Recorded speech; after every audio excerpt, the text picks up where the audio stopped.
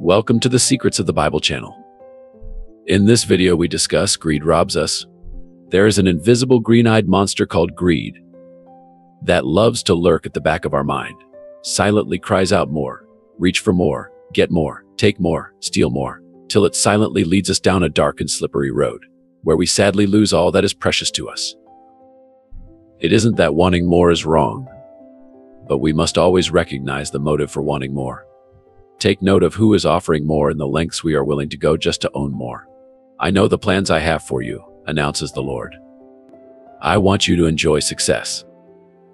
I do not plan to harm you. I will give you hope for years to come. Jeremiah 2 9 11 NIrV, yes, God loves to lavish us with his goodness.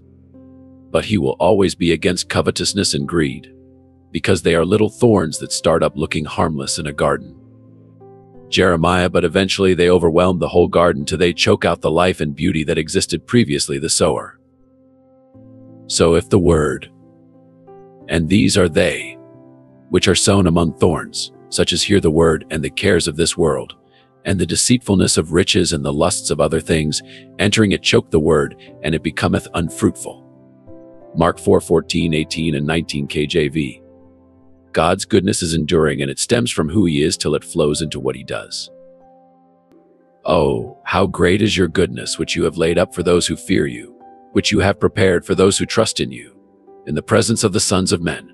You shall hide in them in the secret place of your presence from the plots of man.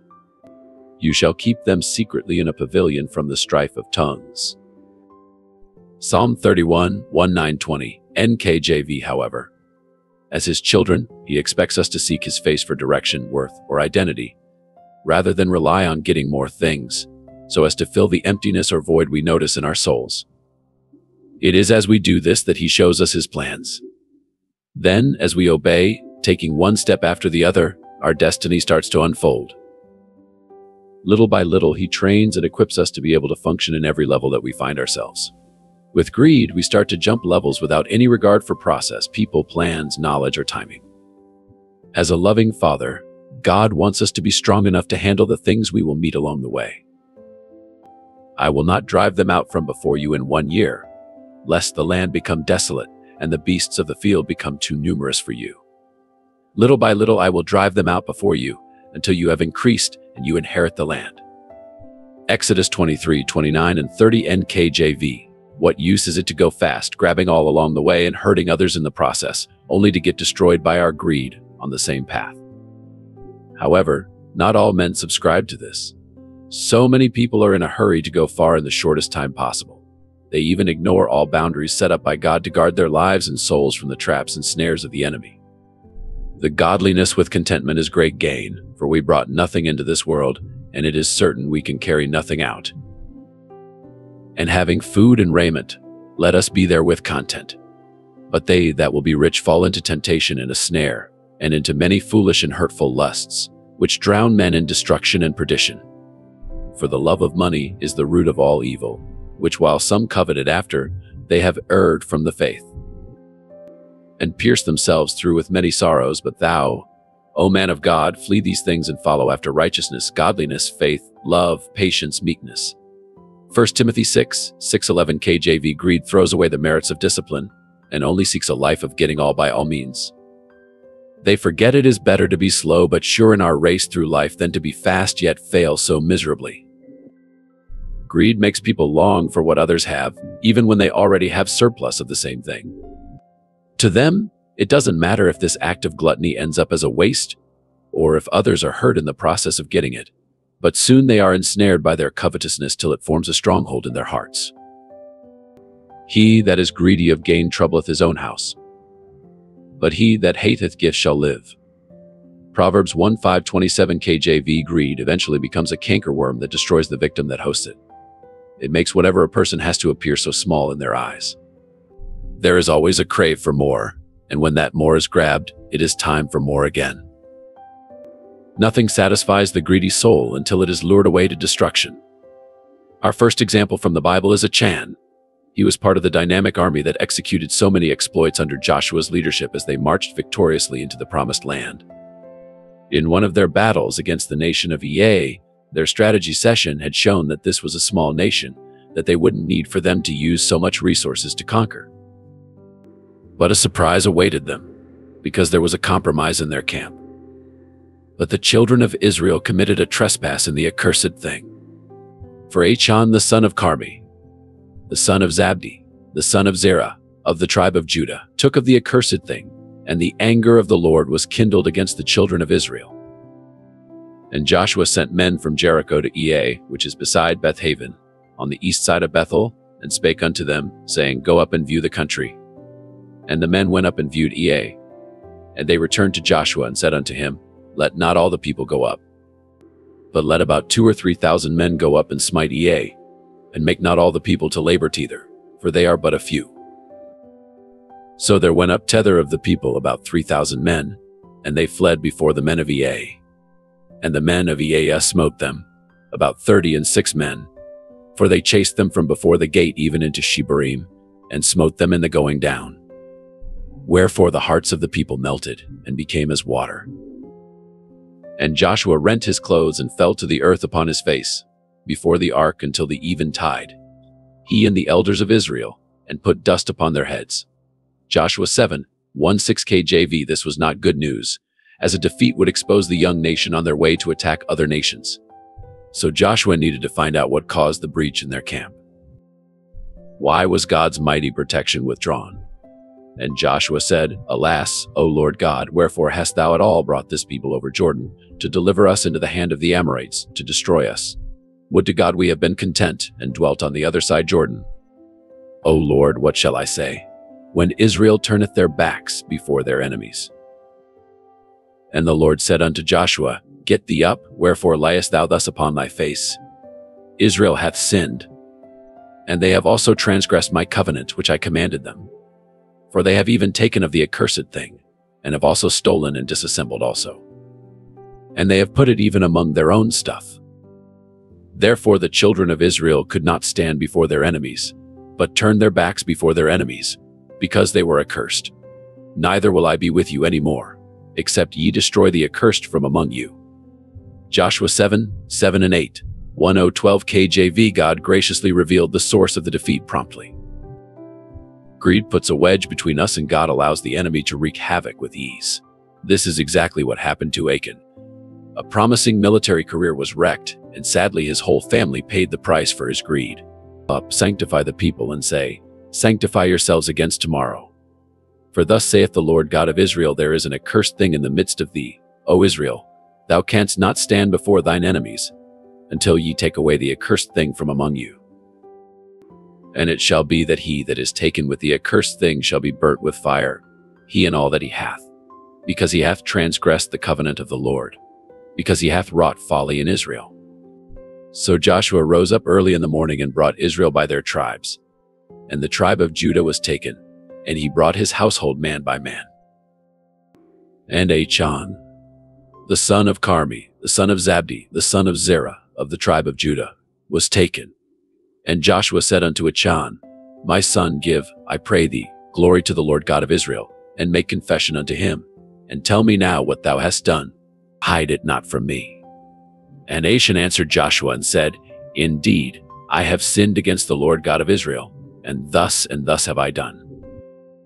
When I saw among the spoils a goodly Babylonish garment, in two hundred shekels of silver, and a wedge of gold of fifty shekels weight, then I coveted them, and took them.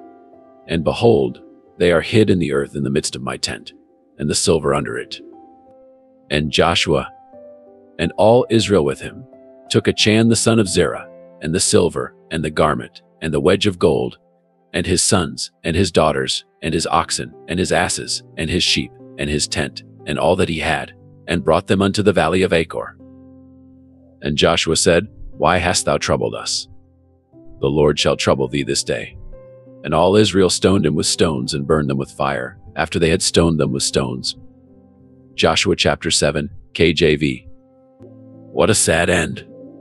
Greed made him think he was gaining more till it robbed and destroyed him utterly. Achan ruined his life and his family because of greed. Our second example is a man who would probably have carried the anointing of Elijah. Gehazi was the servant of Elijah.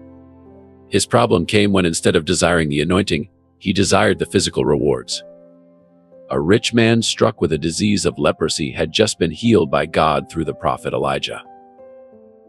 The man, Naaman, a Syrian army captain, was so excited that he made an enormous offering to the man of God. But the prophet refused the offering. As the healed man set off to his country, most probably with so much awe at not only being healed, but also that the healing came at no cost. He was pursued by Gehazi and made to part with his goods under the guise that it was the prophet who wanted them. Then he went down and dipped himself seven times in the Jordan, according to the saying of the man of God. And his flesh came again like unto the flesh of a little child. And he was clean. And he returned to the man of God, he and all his company, and came and stood before him. And he said, Behold, now I know that there is no God in all the earth. But in Israel, now therefore I pray thee, take a blessing of thy servant. But he said, As the Lord liveth, before whom I stand, I will receive none. And he urged him to take it, but he refused. And he said unto him, Go in peace. So he departed from him a little way. But Gehazi the servant of Elijah, the man of God, said, Behold, my master hath spared Naaman the Syrian, and not receiving at his hands that which he brought. But as the Lord liveth, I will run after him, and take someone of him. So Gehazi followed after Naaman. And when Naaman saw him running after him, he lighted down from the chariot to meet him. And he said, Is all well? He said, All is well. My master hath sent me, saying, Behold, even now there be, come to me from Mount Ephraim, two young men of the sons of the prophets.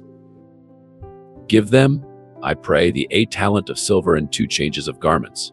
And when he came to the tower, he took them from their hand and bestowed them in the house, and he let the men go, they departed.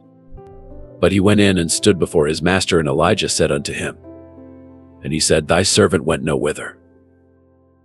And he said unto him, Went not mine heart with thee, when the man turned again from his chariot to meet thee, is it a time to receive money, and to receive garments and olive yards and vineyards and sheep and oxen and menservants and maidservants?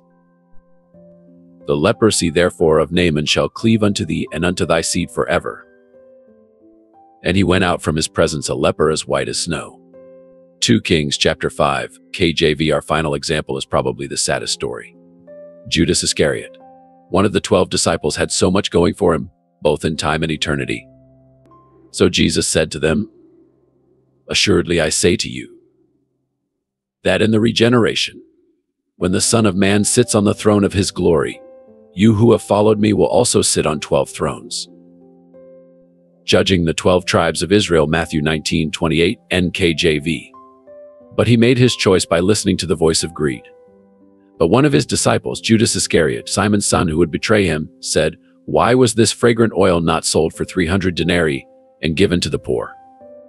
This he said not that he cared for the poor, but because he was a thief and had the money box, and he used to take what was put in it. John 12, 4 6 NKJV He lost his place in history on earth and lost eternity because of a moral failure called greed and covetousness. And in those days Peter stood up in the midst of the disciples. Together the number of names was about a 120 and said, Men and brethren, this scripture had to be fulfilled, which the Holy Spirit spoke before by the mouth of David concerning Judas, who became a guide to those who arrested Jesus, for he was numbered with us and obtained a part in this ministry. Now this man purchased a field with the wages of iniquity, and falling headlong he burst open in the middle, and all his entrails gushed out. And it became known to all those dwelling in Jerusalem, so that field is called in their own language. Akel Dama, that is field of blood for it, is written in the book of Psalms. Let his dwelling place be desolate, and let no one live in it, and let another take his office. Therefore, of those men who have accompanied us all the time, that the Lord Jesus went in and out among us, beginning with the baptism of John to that day when he was taken up from us. One of these must become a witness with us of his resurrection. And they prayed and said, You, O Lord, who know the hearts of all, show which of these two you have chosen to take part in this ministry, an apostleship from which Judas by transgression fell, and he might go to his own place. Acts chapter 1, NKJV. His place was taken by another, and eternity with Christ was foolishly traded for the lure of greed and its temporal glitter.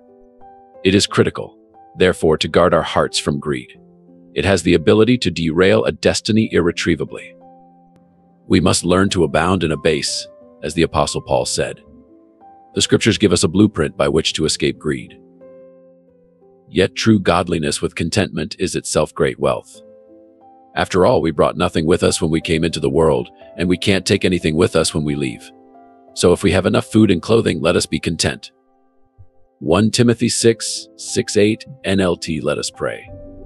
Father, thank you because you have given me all things that has to do with life and godliness.